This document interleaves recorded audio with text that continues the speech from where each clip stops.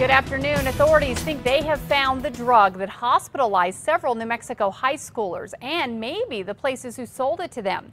Roosevelt County deputies seized hundreds of packets of so-called herbal potpourri, often referred to as spice, after another alarming incident with a young person there. News 13's Emily Younger has a story padlocked windows, empty parking lots, and signs that read, Sorry, we're closed, at two Portales smoke shops after a raid by Roosevelt County Sheriff's deputies. We seized a lot of packages of different synthetic materials.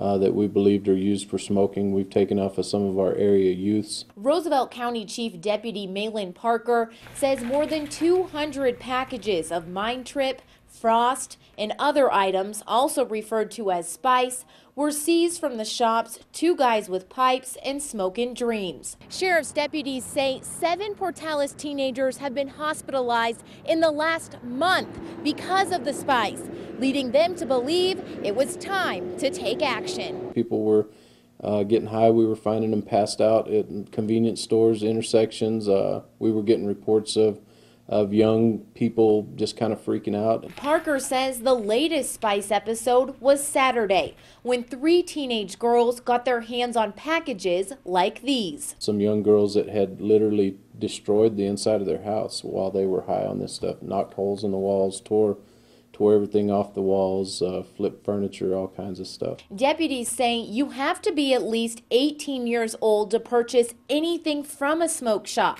But even that doesn't stop teens from getting away with it. They just got to know somebody that's willing to get it for them. Deputies say that's a big reason why they're having a difficult time keeping the community clear of the spice substances. We can stop something and or slow it down until they figure out another way of doing it. In Portales, Emily Younger, KRQE News 13.